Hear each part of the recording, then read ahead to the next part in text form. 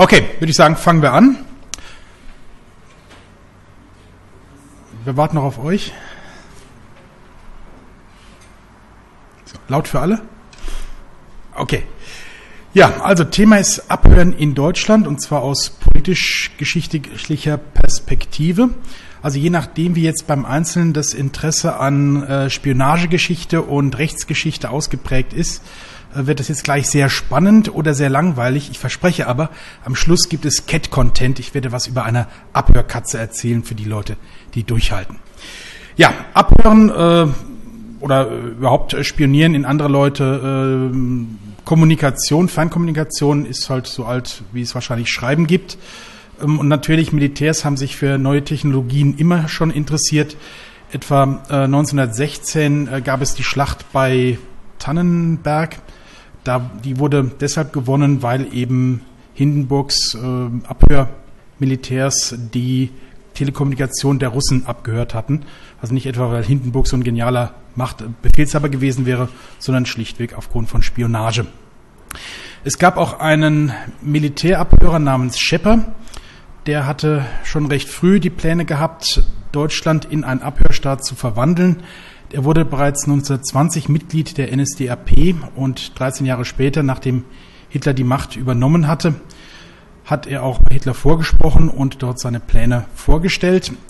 Und die wurden dann auch gleich unter größter Geheimhaltung in die Tat umgesetzt. Man hat eine, man hat es eine, eine Behörde erfunden, ein sogenanntes Forschungsamt. Das war die Tarnbezeichnung. Das Ganze war aufgehängt im Reichsluftfahrtministerium. Dort wurden Büros eingerichtet, die halt äh, Abhör Dienststellen waren. Und die, dieses sogenannte Forschungsamt war in der Lage, jeden einzelnen Telefonanschluss in Deutschland abzuhören. Es war auch kein Wunder, denn die Deutsche Reichspost war ja eine staatliche Angelegenheit. Und man hatte auch Zugriff auf das Fernkabel, das durch Berlin durchlief. Und später, als man dann eben auch Wien hatte, hatte man noch ein weiteres Fernkabel. Das Abhören äh, hat natürlich strategische Vorteile gehabt gegenüber dem Ausland, wenn man etwa Diplomaten abgehört hat. Aber es war halt auch interessant, die eigenen Leute abzuhören. Also Hitler hat sich ja sehr viel länger an der Macht gehalten, als man gedacht hat. Und das dürfte einem Großteil dieser Überwachung der eigenen Leute geschuldet sein. Es gab ja auch recht bald den Röhmputsch, bei dem eben Hitler sich von etlichen, äh, also etliche äh, Rivalen oder, oder Leute, die er als Bedrohung empfand, äh, ja, getrennt hat, ist etwas äh, euphemistisch, also hat sie liquidieren lassen. Ja, das Forschungsamt war eine äh, bemerkenswert große Einrichtung. Die hatten am Schluss über 1000 Büros und bis zu 6000 Mitarbeiter. Es war also der größte deutsche Geheimdienst des Dritten Reichs. Und bis etwa 43 waren die also in Operation. Ähm, nach dem die Alliierten die Macht übernommen haben, hatten sie ganz offiziell hier erst einmal den Anspruch, jegliche Form von Kommunikation zu kontrollieren. Wer eine Zeitung herausgeben wollte, brauchte eine Verlagsgenehmigung, er brauchte Papierzuteilung und er brauchte auch Informationen die, äh, über den Staat und wie auch immer. Und deshalb verwundert es nicht, dass natürlich in Osten und Westen die Berichterstattung, insbesondere im politischen Bereich, natürlich sehr konträr sich entwickelt hat. Und man hatte schon recht früh das Bedürfnis, eben Einfluss auf die Nachrichtenlage zu nehmen, indem man Prospekte verschickt hat, eben äh, indem eben der Westen für seine Freiheiten warb und die Kommunisten halt für den Kommunismus. Bereits damals äh, nahmen sich eben die Alliierten heraus, äh, die Post zu kontrollieren. Und das tat man bis 1949 mehr oder weniger offiziell. 1949 gab es einmal das Truppenstatut und es gab im Westen das Grundgesetz. Im Grundgesetz stand drin in Artikel 5 Absatz 3, eine Zensur findet nicht statt. Und in Artikel 10, dass das Post- und Fernmeldegeheimnis gewährleistet ist und dass also Eingriffe nur aufgrund eines Gesetzes möglich seien. Da es ein solches Gesetz nicht gab, könnte man jetzt schlussfolgern, dann wurde auch nicht eingegriffen. Pustekuchen, es wurde massiv eingegriffen, einmal äh, eben in die Telekommunikation und zum anderen in das Postgeheimnis. In das Postgeheimnis hat interessanterweise der deutsche Staat eingegriffen. Und zwar, man hat also unterbunden, dass diese Prospekte verschickt werden. Und das konnte man natürlich nur, indem man äh, die Post illegal öffnete. Ähm, vorgenommen haben das verschiedene Beamte, also Postbeamte, Bahnbeamte, später dann Soldaten und ganz am Schluss dann äh, auch der Geheimdienst. Ähm, diese Postkontrollen wurden also bereits zum Teil in, in den Zügen durchgeführt und äh, es gab also in äh, mehreren Postämtern so geheime äh, Stockwerke, die also keiner betreten durfte.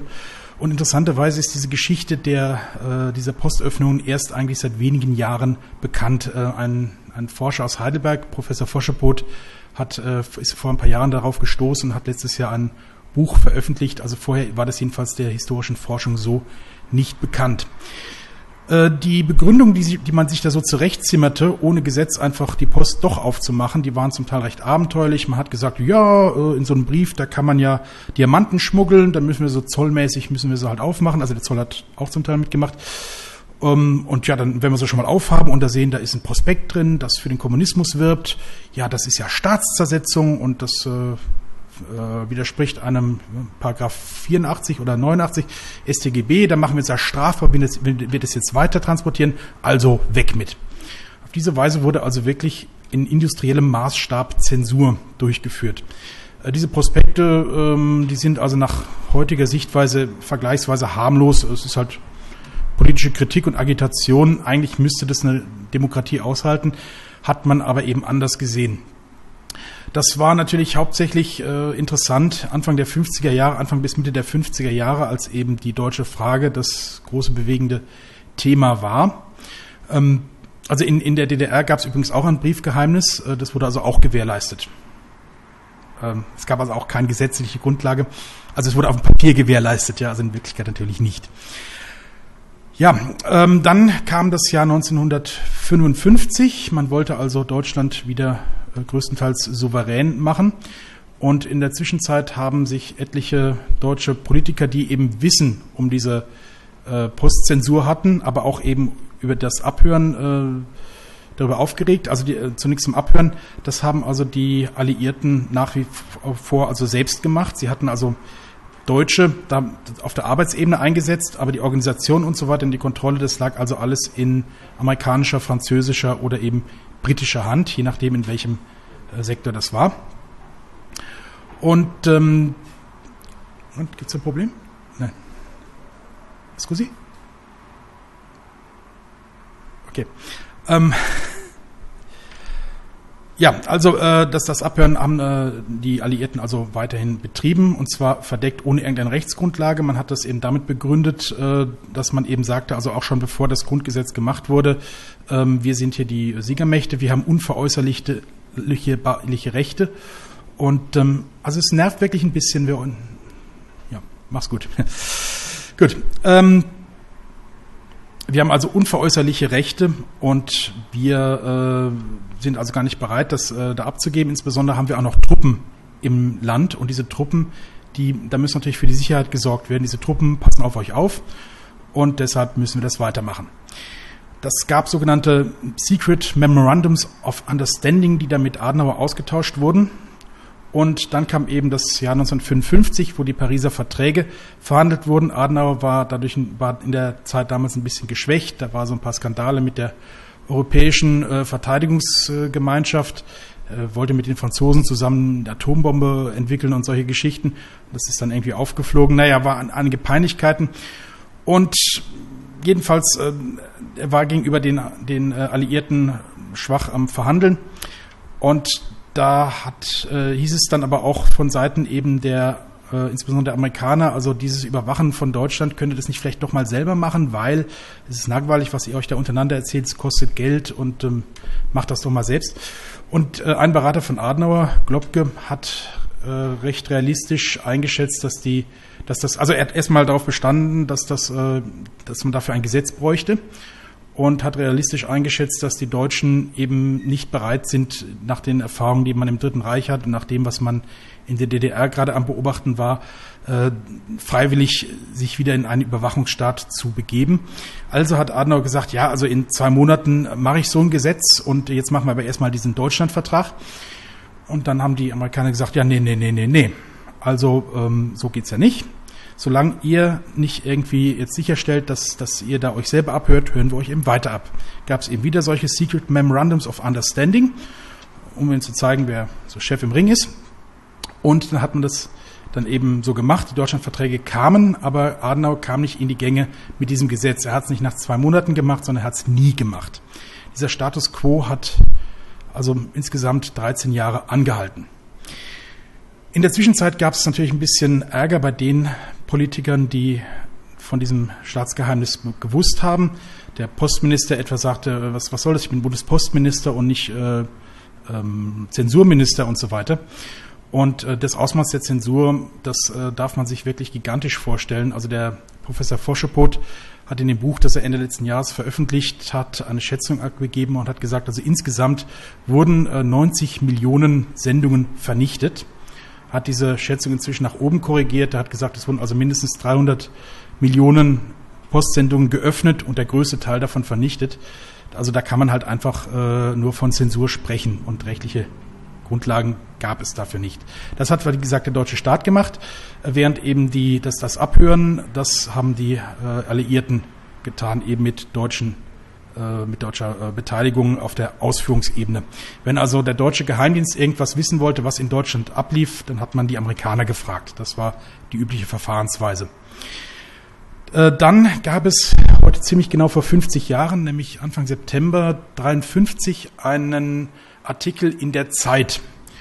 Und das war der Beginn der sogenannten Abhöraffäre, denn in diesem Artikel wurde also erstmals eben über diese Abhörpraxis in großem Stil berichtet. Ein Schwerpunkt des Artikels war auch, dass eben in den äh, entsprechenden Behörden Altnazis untergebracht waren oder belastete äh, Personen aus dem Dritten Reich, die man, also es war eine sehr unappetitliche Geschichte und dann fing es langsam an zu rumoren.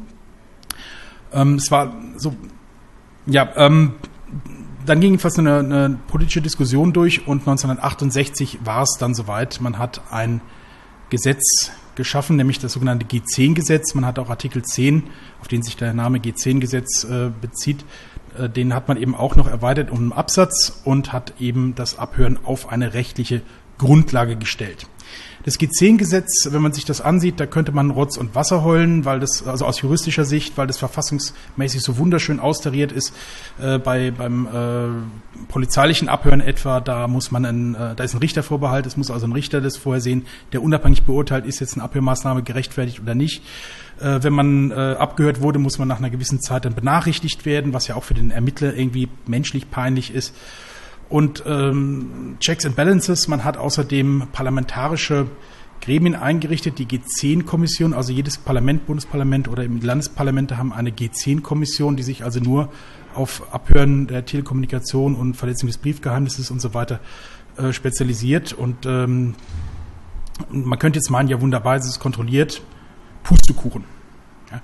Denn bevor das in Kraft trat, kam wieder die Herrschaft mit dem Schlapphut an, also in, in Realität das war, waren das äh, äh, natürlich Diplomaten und haben gesagt, ja, also ihr könnt gerne so ein äh, G10-Gesetz machen und das ist dann auch toll, wenn ihr euch jetzt künftig selber abhört.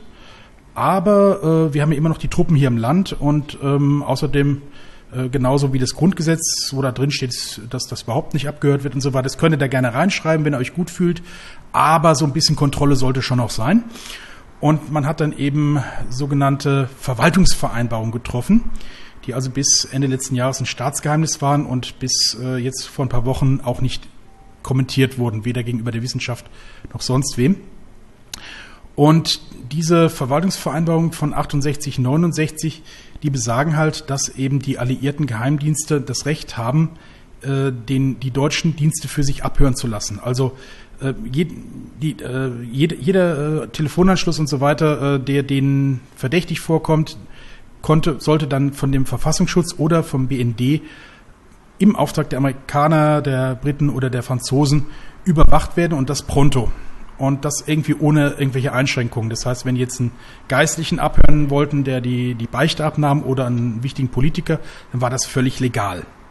Das ist also Rechtszustand übrigens auf dem Papier bis vor wenigen Wochen gewesen, ne, als das nämlich dann die breite Öffentlichkeit erfuhr. Da gab es noch ganz andere lustige Vereinbarungen, nämlich, dass die äh, Alliierten, wenn sie hier Geheimagenten haben und damit auffallen, dass die freien Abzug bekommen. Also wenn so ein Spion irgendwo äh, in Untersuchungshaft kam, weil er beim Abhören oder bei sonst was aufgefallen ist, dann kam dann plötzlich ein Herr vom Verfassungsschutz, hat die Leute freundlich gegrüßt, hat ihn mitgenommen, hat ihm seine Sachen mitgenommen und wenn der nach 30 Tagen das Land verlassen hat, dann war alles Pustekuchen. Also in der Strafprozessordnung steht es eigentlich anders, aber gut. Ähm, das waren also diese Verträge von 68, 69, die dann also ja nie natürlich bekannt gemacht wurden und dann gab es eben dieses G10-Gesetz. Allerdings hat das äh, die Alliierten nicht daran gehindert, trotzdem hier weiter abzuhören. Ähm, sie haben es natürlich in anderer Weise gemacht. Ähm, die, der technische Fortschritt hat sich, ja, ist halt fortgeschritten.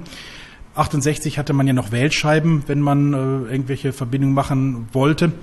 Und es wurde halt ähm, immer moderner, insbesondere 1952 hatten die Amerikaner die NSA aufgezogen, die eben immer dem technischen Fortschritt äh, mindestens eine Generation voraus war. Die NSA, also die National Security Agency, äh, ist ein äh, Abhörgeheimdienst, der unter mit, äh, militärisch aufgehängt ist, allerdings äh, in dem hauptsächlich Zivilisten arbeiten. Äh, das ist eine Riesenabteilung, die haben 40.000 Menschen allein in ihrer Zentrale in Fort Meade und weltweit werden die Abhörposten, die die NSA betreibt, von nach offiziellen Zahlen 150.000 Leuten gewartet. Das sind dann äh, Leute, die bei Inscom aufgehängt sind. Das ist also uniformiertes Militär. Die haben weltweit Horchposten zu Wasser, zu Land und in der Luft. Das darf man wörtlich nehmen. Sie haben äh, den, den Erdboden etwa mit Mikrofonen überzogen wenn nicht also den Meeresboden mit Mikrofonen überzogen, damit sie jederzeit wissen, wo jetzt so ein russisches U-Boot rumtuckert, äh, Satelliten, äh, Spionagesatelliten und so weiter. Also das ist schon eine beeindruckende Organisation. Und jedes, jeder dieser Horchposten ist halt mit Fort Meade äh, verne äh, vernetzt. Sie haben also seit 40 Jahren ein Internet und da geht es dann direkt rein. Das ist jetzt eine Weile so gut gegangen äh, und dann gab es dann plötzlich die deutsche Wiedervereinigung, wie man sagt. Und da gab es den 2 plus 4 Vertrag. Und da hätte man sich eigentlich denken müssen, jetzt wurde Deutschland also souverän. Pustekuchen, äh, auch hier hieß es, nee, nee, nee, nee, nee. Ihr könnt, wir können diesen Vertrag gerne machen, wenn ihr euch gut damit fühlt, aber wir haben ja noch Truppen im Land. Wobei, das hat man so nicht gesagt. Also, es gibt eigentlich keine, ich habe das jetzt verbildlicht, ähm, es gibt nämlich keinen bekannten Beleg dafür, dass das Thema überhaupt bei den 2 plus 4 Verträgen erwähnt wurde.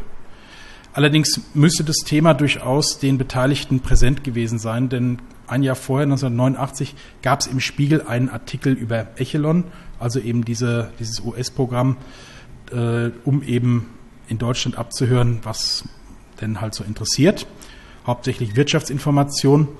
Und diese Echelon-Geschichte hat sich dann gehalten, bis dann Mitte der 90er Jahre die EU-Kommission eine große Untersuchung angestrengt hat und Mitte 2001 wurde dann ein Bericht vorgelegt, in dem es eben äh, hieß, dass man an, wohl eine ziemlich gute Beweiskette hat, dass es dieses Echelon gibt, dass es keine Verschwörungstheorie ist.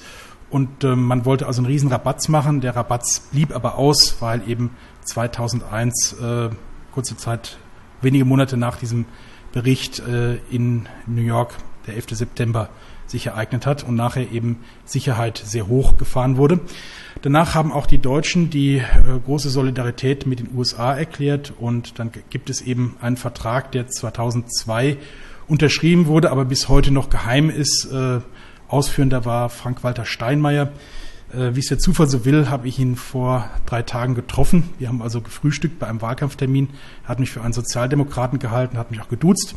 Und dann habe ich ihn direkt mal gefragt, ob er der NSA erlaubt hätte, mein Handy abzuhören und so weiter. Und ähm, hat er erstmal etwas sparsam geguckt, gegrinst und dann hat er mir einige Dinge erzählt, die mir so also nicht bekannt waren. Also er hätte äh, verhandelt, dass also äh, also ihm hätten irgendwelche äh, Amerikaner zugesagt, äh, drei Amerikaner unabhängig irgendwie, dass also Echelon 98 oder sowas abgeschaltet worden wäre und das müsse man halt glauben oder nicht. Also er hat dann auch gegrinst, als er gemerkt hat, dass ich es ihm nicht ganz abgekauft hat. Was er auch erzählt hat, dass er eben diese Verhandlungen geführt hätte äh, bezüglich Bad Aibling. In Bad Aibling hatte die NSA ein Objekt, das sind diese berühmten Golfbälle, das also 2004 an den BND ging. Der BND hatte allerdings äh, schon immer in Bad Aibling auch eine eigene äh, Filiale da. Und was in den Golfbällen drin war, man nennt es auch Elefantenkäfige, da gibt es Verschwörungstheorien, aber es ist eigentlich ein offenes Geheimnis, dass da äh, Technik zum Abhören von Satelliten drin war und man will halt nicht, dass man von außen sieht, auf welchen Satellit jetzt was wo gerichtet ist. Und diese Antennen, die stehen heute in Manwith Hill, also in, in Großbritannien. Äh, rechtlich gesehen ist es halt so, wenn man in Deutschland ohne eine Rechtsgrundlage oder ohne eine stabile Rechtsgrundlage auch deutsche Telekommunikation abhört, was ja bei den äh, Satelliten nicht auszuschließen ist, dann ist das ein Problem. Wenn man genau das Gleiche in Großbritannien macht, dann ist es zumindest kein deutsches Problem, denn es, äh, Spionage ist nicht irgendwie international geächtet oder sowas, sondern von außen darf man halt Abisel spionieren. Das macht halt kein Geheimdienst anders, auch der unsrige nicht. Ähm, die hören auch ganz gerne mal ab, manchmal auch im Inland inzwischen etwas weniger, als sie ein bisschen dumm aufgefallen sind. Also der BND hat zwei äh, Observationsteams, die wohl mit erstaunlicher Technik ausgestattet sein müssen. Nun gut, aber den Technik Vortrag, den machen ja die Kollegen. Deshalb sage ich dazu jetzt weniger. Ja, äh, Status quo. Ähm, 2012 hat Foschepot sein Buch veröffentlicht, Ende 2012. Und nachdem der NSA-Skandal ein paar Wochen äh, hochgekocht war, hatte ich eigentlich gedacht, dass sie jetzt mal jemand äh, an diese Sache erinnert. Äh, Foschebrot hatte nachgefragt, was denn jetzt mit diesen Staatsverträgen ist. Er hat also gesagt, er hat also äh, durchgesetzt durch Akten, durch Klagen und so weiter, dass äh, das Bundesarchiv ihm diese, äh, also nicht Staatsverträge, sondern ähm, Verwaltungsvereinbarungen, so heißt das Ding, diese Verwaltungsvereinbarungen aushändigen musste und die wurden so aufbewahrt, wie eben Gesetze aufbewahrt werden, die noch in Kraft sind, mit so einer schönen Schleife drumherum. Und, also ein Siegel. Und äh, die Bundesregierung hat aber dazu keine Stellung genommen, äh, was jetzt damit eigentlich los ist. Und dann habe ich halt eben, nachdem äh, das Thema keiner aufgriff, habe ich bei Telepolis eine Zusammenfassung von Forscherpots Buch gemacht. Der Artikel ist äh, der bisher meistgeklickteste, den ich bisher gemacht habe. Und da hat aber auch erstmal keiner darauf reagiert, ähm, bis dann eben eine Woche später in Süddeutsche, Frankfurter und Spiegel diese Verwaltungsvereinbarung das erste Mal dann plötzlich auftauchten und als dann Frau, also ähm, da wurde dann eben auch gesagt, dass die seit 1990 angeblich nicht mehr angewendet worden seien. Naja, wie gesagt, es gab ja neue Verträge, kann durch, beziehungsweise auch neue Techniken, durch, das kann also durchaus möglich sein. Jedenfalls wurde dann äh, Frau Merkel bei ihrer Sommerpressekonferenz darauf angesprochen und hat dann äh, zugegeben, dass es sie gibt und dass man dabei ist zu verhandeln, äh, die aufzukündigen. Und jetzt hat man zumindest vermeldet, äh, dass man das auch getan hätte vor ein paar Wochen. So viel zur äh, Rechtsgeschichte des Abhörens. Ähm, kommen wir noch schnell zur Katze. Die, also das strategische Abhören, also Abhören auf Vorrat sozusagen, das äh, macht die NSA. Die CIA hat aber auch eine operative Abhörabteilung, wenn die also spezielle äh, Zielpersonen haben, die sie erfassen wollen. Und da hörten die eben mal von einem russischen Politiker, der in sein Arbeitszimmer Katzen reinlässt. Und dann sind die auf eine ganz tolle Idee gekommen. Sie haben einer Katze ein Mikrofon ins Ohr operiert und haben also in, in die Katze auch ein Battery Pack äh, rein operiert und äh, Sendeelektronik. Ähm, die Antenne hat man schön am Rückgrat der Katze verlegt. Und damit die Katze auch nicht zu eigenwillig wird, was Katzen ja ganz gerne mal sind, haben sie sogar Drähte ins Gehirn gelegt, dass die also, wenn sie äh, Hunger hatte, kein Futter gefressen hat. Auch der, der Sexualtrieb wurde irgendwie unterdrückt. Also man darf sich das wirklich äh, wie Frankensteins Katze vorstellen. Und die, diese Geschichte hat also 25 Millionen Dollar gekostet, was also auch für die CIA jedenfalls damals eine Menge Geld wert war. Und Anfang der 60er hat man dann so einen Test gemacht. Man hat also in der Nähe der russischen Botschaft in Washington die Katze also rausgelassen und hat gesagt, guck mal, da ist ein Park, da sitzen zwei Leute, jetzt hörst du die mal schön ab, Katze. Und die sind dann also im schwarzen Van hinterhergetuckert mit ihrer Empfangstechnik und so weiter. Und dann gab es ein unangenehmes Geräusch. Es ist nämlich ein Taxi über die Katze gefahren. Und in dem Moment waren halt 25 Millionen Dollar platt. Ähm, die Berichte sind inzwischen freigegeben, auch wenn da noch viele Streichungen drin sind. Äh, da steht dann drin, ja, also ähm, wir können es jetzt doch nicht empfehlen für einen Auslandseinsatz. Gute Idee, aber vielleicht einmal bessere. Ungefähr. Das ist die Acoustic Kitty. Sie hat auch in der amerikanischen Kultur Niederschlag gefunden. Es gibt also ein Lied, sie wird besungen und ja, so viel zur Geschichte des Abhörens in Deutschland. Ähm, zu den technischen Details, wie gesagt, ist der, der Jens äh, sehr viel kom äh, kompetenter. Ähm, was, was äh, die Geheimdienste so drauf haben, das ist wirklich beeindruckend, etwa wenn ihr an einem Computer sitzt und irgendwo ein Telefon in der Nähe ist und sei es auch euer Handy, äh, dadurch kann man eben euch abhören und zwar nicht nur euch, sondern auch beim Tippen auf den Computer. Jede Computertaste hat eine eigene Tonsignatur und man kann äh, die Tasten zuordnen. Also für uns wird es Klicken gleich an, aber äh, ich habe mir sagen lassen, dass das wohl eine eigene Signatur hat. Und man kann dann eben durch, durch entsprechende äh, Verfahren, wie welche Taste wird am öftesten geklickt, das ist dann ein E meistens und, und dann in zweiter Position kommt N, diese alten Dechiffriergeschichten, kann man halt äh, recht schnell rauskriegen, was da getippt wurde. Und das heißt also nur aufgrund von Akustik kann man euch abhören. Ein Freund von mir, äh, der, der äh, in den 90ern über den BND viel geschrieben hat, dem haben sie einen Laser an sein Fenster gelegt und haben auf diese Weise abgehört, was er in seine Tastatur da reingetippt hat. Das äh, ist schon bemerkenswert, dass das in den 90ern möglich war. Ähm, überhaupt in den 90ern waren, war der offizielle Stand der, dass wenn man irgendwelche Wörter gesprochen hat, dass also die erkannt werden konnten, also Bombe, Allah, Attentat oder was auch immer, äh, dann, äh, dann ging Alarm los. Aber diese Technik soll schon damals 20 Jahre alt gewesen sein. Auch die Stimmsignatur, wenn Bin Laden etwa äh, irgendein Telefon benutzt hat, das, auf das die äh, an dem die NSA irgendwie mitgeschnorchelt hat, also sprich an Satellitentelefon, dann ist allein auf der Stimm, aufgrund der Stimmsignatur schon irgendein Alarm losgegangen, was halt äh, damals einfach Science Fiction war. Und wenn man sich überlegt, dass sie das möglicherweise in den 80ern schon gehabt haben, dann ist das bemerkenswert. Die Geheimhaltung bei der NSA ist auch krass. Die hatten während des Kalten Kriegs äh, sogar äh, ihre Stadt Crypto City von den Landkarten verschwinden lassen. Also bis 1990 werdet ihr auf keiner Landkarte äh, Crypto City finden, Fort Meade. Ähm, Gleiches galt auch für so eine, eine Stadt im, im, im, der Mitte von Amerika, in der also Bomben gebaut wurden, die Bomben also zusammengeschraubt wurden. Auch das ist, das ist eine Millionenstadt, die nicht mal auf einer Landkarte erschien. Also es gibt schon sehr komische Geschichten aus dem Kalten Krieg. Gut, ähm, Fragen. Wir haben ein Saalmikro.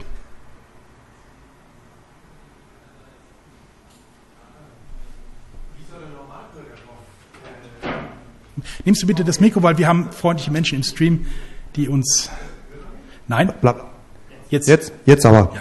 Wie, wie soll denn der Normalbürger äh, darauf reagieren? Also das ist eigentlich immer meine äh, größte Frage. Stimme abgeben und Schluss. Ähm, was soll man dem Normalbürger empfehlen? Ich bin ja nun selber auch Verteiler, rede mit vielen Leuten. Mhm da bin ich jetzt eigentlich fast überfragt. Ich, jedenfalls, wenn du Spion bist, würde ich gewisse Sachen äh, nicht sagen und auch Terrorismus würde ich eher ähm, handschriftlich machen. Ähm, Achso, das ist auch noch eine Sache. Jeder, jeder Brief, der von der Deutschen Post foto, äh, äh befördert wird, wird fotografiert, wird digital fotografiert. Äh, angeblich nur so für interne Zwecke und das würde dann auch später gelöscht, aber ich würde mich jetzt nicht drauf verlassen. Also ich weiß auch nicht, wo das hingeht. Äh, auch aber, von innen? Nee, von innen nicht. Also äh, die Postkontrolle, von der ich eingangs gesprochen habe, die wurde 1970 äh, beendet. Also diese Postkontrolle diente eben wirklich zur Zensur, um eben diese Prospekte zu unterbinden. Sie wurde allerdings fortgesetzt auf geheimdienstlicher Basis. Man hat also bis Ende äh, des Ost-West-Konflikts hat also der BND Briefe geöffnet. Wir haben ja immer schon gewusst, dass die DDR, dass das MFS die aufmacht und deshalb haben wir uns nicht gewundert, wenn die offen waren oder wenn man sieht, dass es Spuren gab. Anscheinend wurde aber jeder Brief zweimal geöffnet, ja, und die hatten also auch äh, bemerkenswert äh, große Einrichtungen. Das diente dann aber eben zum Spionieren. Die Briefpost gilt im Moment als sicher, also bisher wüsste man jetzt nicht, äh, dass es da eine strategische Kontrolle gibt. Man kann natürlich auch äh, Briefe von außen lesen, etwa indem man sie, da gibt es so ein Spezialspray, dann wird, äh, solange das da feucht ist, der, der Briefumschlag transparent. Das klappt im Prinzip auch mit Alkohol, der dann verfliegt. Aber dieses Spezialspray hinterlässt halt jedenfalls gar keine Spuren. Sagte man mir, ich habe solch nicht. Ähm, man kann auch mit anderen Methoden ähm, an, daran gelangen. Äh, Briefe werden ja nicht ganz komplett versiegelt, wenn man sie zuklebt, sondern da ist ja oben so ein Teil offen, mit, damit man mit, mit dem Brieföffner da rein kann. Man kann da aber auch mit so einem Gabel-Dings äh, daran, das ist also, darf man sich wie zwei chinesische Stäbchen vorstellen. Da, da fädelt man praktisch den, den Brief ein und äh, rollt ihn und holt dann diese Rolle oben an der Seite raus. Ja. Dann kann man ihn lesen, kann man wieder zusammenrollen, zurücktun, nichts passiert. Ja. Also ich, ich, ich habe mal, gehört, dass, ich hab mal gehört, dass in der DDR die Briefe aufgeblasen wurden und mit einer speziellen Optik äh, konnte man tatsächlich äh, das Papier durchsichtig machen weiß nicht, ob das stimmt. Aufgeblasen. Also äh, es gibt diese über, über heißem Wasserdampf äh, hat man äh, die die so geöffnet, damit es feucht wurde, die, die den Kleber und hat es dann neu zugeklebt. Und ähm, ja, eben diese Sache mit dem Spray. Ähm, aber aufblasen ist mir jetzt nicht bekannt. Aber das würde man halt nur machen, wenn, wenn du in einem, wenn man eben speziell äh, dich im Verdacht hätte, was zu machen. Dann würde man dich mit, dies, mit diesem Aufwand überwachen. Aber eine Postkontrolle strategischer Natur würde jetzt auch keinen Sinn ergeben. Es sei denn vielleicht mit Pakistan, weil das ja alles voller Terroristen ist und ja. Du hast ja gerade wieder erzählt, ähm, die parlamentarische Kontrolle der Geheimdienste funktioniert nicht. Wie müsste man denn eine politische Kontrolle der Geheimdienste aufsetzen, dass sie funktioniert? Ähm, das habe ich jetzt so nicht erzählt, ist aber durchaus meine Meinung. Äh, das wäre aber ein anderes riesiges Thema. Das würde jetzt den Rahmen sprengen.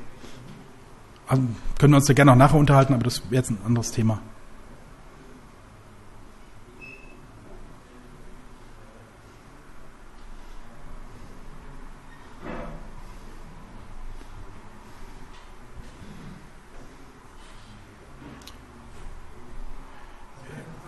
Ja, wir hätten noch Zeit. Also dann kann ich dann eine Frage auch beantworten, wenn keine andere Frage. Also äh, Geheimdienste kontrollieren äh, ist ein, ein Riesenthema. Es gibt hier einmal eben die interne Kontrolle, dann gibt es die Dienstaufsicht, also durch Kanzleramt für BND, äh, die Innenministerien für, für den Verfassungsschutz und so weiter, ähm, Verteidigungsministerium für MAD. Dann gibt es eben auch äh, gerichtliche Kontrolle. Geheimdienste sind also kein rechtsfreier Raum, sondern gibt es etlichen Bedarf für Verwaltungsrecht, für Arbeitsrechte. Es gab letztes Jahr einen skurrilen Prozess, wo irgendwie Spioninnen geklagt hatten, weil die Gleichstellungsberechtigte nicht richtig gewählt worden ist und so was. Also äh, das ist halt ähm, ein Riesending. Also in den deutschen Geheimdiensten sind knapp 10.000 Menschen in Lohn und Brot. Und gerade Beamten sind ja auch sehr rechtsfeindlich und dann wird gerne mal geklagt im Arbeitsrecht. Ähm, Neben den äh, juristischen Möglichkeiten gibt es eben noch drei parlamentarische Ansätze. Ähm, zum einen eben das parlamentarische Kontrollgremium des Bundestages. Da sitzen also elf Menschen drin, die eigentlich im Hauptberuf Parlamentarier sind und im Moment sind sie auch Wahlkämpfer. Also äh, die haben da gar nicht die Zeit. Sie dürfen da auch keine Mitarbeiter äh, mit reinnehmen. Sie dürfen höchstens, wenn sie sich darauf einigen, äh, dann können sie einen Sachverständigen beauftragen. Aber äh, wenn halt eben die Regierung äh, das nicht will, dann kriegt man da auch keine Mehrheit. Die sind also paritätisch organisiert. Ähm, diese elf Leute haben keine Chance, 10.000 Menschen ähm, äh, und Geheimdienst-Professionals äh, zu, kontrollieren. Ähm, diese Leute sind auch nicht besonders ausgebildet, äh, überhaupt äh, in der Geheimdienstwelt. Äh, zum Beispiel für NRW sitzt Gisela Pilz in diesem Gremium. Für die CSU in Bayern sitzt äh, Uhl in diesem Gremium, also auch ein sehr kompetenter Mensch. Der hat in diesem Gremium vor einem Monat erfahren, dass eine dass eine E-Mail nicht von A nach B geschickt wird, äh, also ihren, B nicht, ihren Weg nicht von A nach B nimmt, sondern dass sie möglicherweise einen Umweg über Amerika nimmt. Das war ihm völlig neu. Er dachte immer so ökonomisch, äh, ja, Weg des geringsten Widerstands und das hat er auch vor der Presse so zugegeben. Ja. Also es ist schon, wir haben da also einfach äh, nur sehr, sehr wenig technischen Sachverstand. Neskovic war einer, der seine Aufgabe sehr ernst genommen hat, der ähm, hat ja so eine Art äh, Spionagepraktikum beim BND gemacht und sich dann mal zumindest zeigen lassen, was sie denn da so drauf haben. Also diese Mitglieder von dem Gremium, die haben durchaus das Recht, sich alles zeigen zu lassen. Die dürfen auf, auf jede Akte Zugriff nehmen. Aber äh, wie sollen diese Leute das schaffen? Vor allen Dingen, welche Fragen sollen sie stellen, wenn sie gar nicht wissen, was es gibt? Das ist ähm, völlig, das ist ein Placebo, wenn man so will. Diese Leute haben aber äh, die Möglichkeit, eben das G10, die G10-Kommission zu bestücken. Also die G10-Kommission ist deutlich größer, die haben auch äh, Mitarbeiter und die dürfen eben alles, äh, was mit eben Telekommunikation und Brief äh, zusammenhängt, sich genau angucken und zeigen lassen, haben inzwischen auch Aktendurchgriffsrechte. Das sind die beiden äh, äh, laufenden äh, Möglichkeiten. Die dritte Möglichkeit sind eben die Untersuchungsausschüsse, die eben ausgestattet sind mit Rechten wie Staatsanwaltschaft.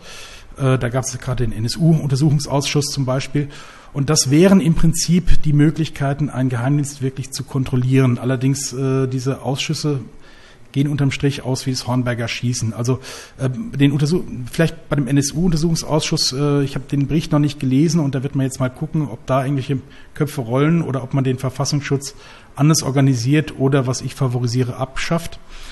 Ähm, also jedenfalls in, in der Form äh, brauchen wir keinen Verfassungsschutz. Das ist ein, äh, eigentlich Polizeiaufgabe. Aber gut, das ist auch wieder ein äh, sehr spezielles Thema wie man Geheimdienste kontrolliert.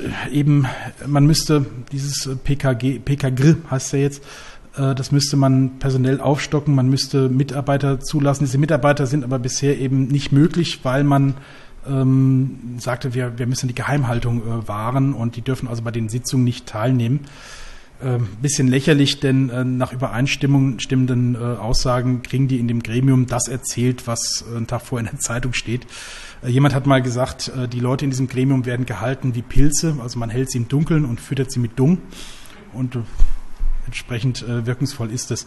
Also ähm, wenn man halt äh, sich eben anguckt, was da für Skandale äh, regelmäßig beim BND da so rauskommen, ähm, die im Dunkeln sieht man nicht und äh, Kontrolle funktioniert jedenfalls gegenwärtig sehr, sehr wenig. Wobei der BND, zur Ehrenrettung muss ich das sagen, nicht, dass mich jemand liquidiert vor Ärger. Der BND gilt eigentlich als sehr beamtenmäßig und äh, ordnungsbewusst und irgendwie hat also in, zumindest in dem Maße einen Ruf. Also die haben jedenfalls nie solche Sachen gemacht äh, wie die Mitbewerber äh, von der CIA oder die Herrschaften vom Mossad. Ähm, überhaupt, ähm, um, weil ich regelmäßig darauf angesprochen werde, also ähm, äh, Nachrichtendienste sind Nachrichtendienste, da geht es ums Spionieren. Äh, so die Vorstellung, dass ja irgendwelche Leute mit ähm, Schalldämpfer und, und Kontaktgift oder sowas rumlaufen.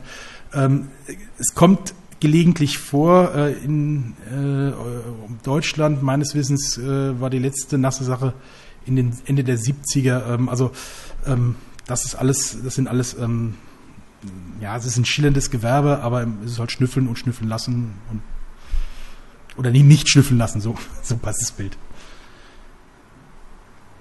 Ja, ähm, um deine Frage zu beantworten, man müsste diese Ausschüsse, man müsste einen ähm, sehr viel größeren ähm, man müsste erstmal das parlamentarische Kontrollgremium zu einem laufenden Ausschuss aufbauen, der eben personell besser ausgestattet ist und der auch mit Fachkräften besetzt wird und nicht mit solchen Uls und Pilz. Und obwohl Frau Pilzer jetzt inzwischen auch ein paar vernünftige Dinge gesagt hat, ich will sie also jetzt nicht zu sehr, ähm.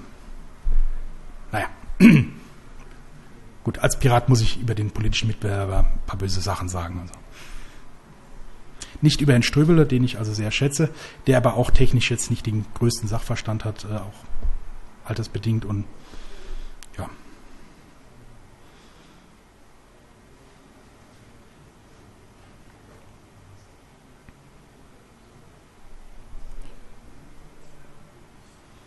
Gut, damit ich noch zum Schluss was Vernünftiges sage.